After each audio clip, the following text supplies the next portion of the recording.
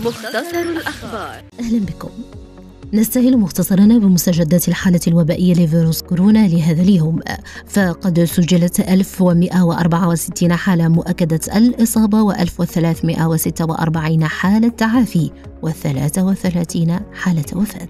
استعرض المجلس الحكومي المنعقد اليوم برئاسة الدكتور سعد الدين العثماني رئيس الحكومة تفاصيل المنصة الرقمية للمراكز الجهوية للاستثمار وسجل السيد رئيس الحكومة أن ورش إصلاح المراكز الجهوية للاستثمار قد بدأت تظهر آثاره الإيجابية رغم قصر المدة الزمنية لإطلاقه حيث تبرز المؤشرات ارتفاع عدد مشاريع الاستثمار التي تواكبها هذه المراكز بنسبة تقارب 50% مقارنة بين سنتي 2019 و2020 كما تقلص معدل آجال معالجة ملفات الاستثمار من أكثر من 100 يوم إلى أقل من شهر واحد.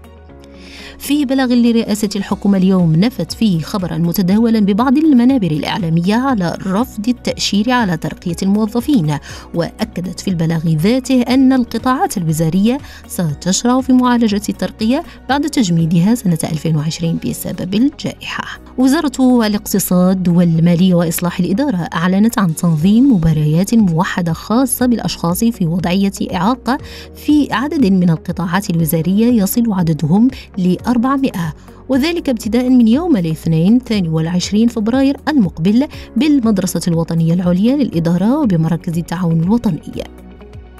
قررت وزارة الشغل والإدماج المهني حل التعاضدية الوطنية للفنانين.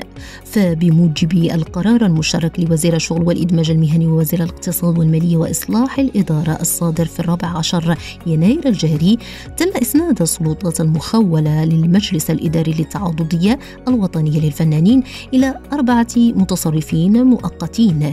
يعهد إلى كل واحد فيما يخصه بإجراء انتخابات جديدة في ظرف ثلاث أشهر والسهر على التسيير العادي لشؤون هذه التعاضدية إلى حين تنصيب الأجهزة المسيرة الجديدة مع الحرص على ديمومة الخدمات المقدمة للمخرطين ودورهم بشكل عادي.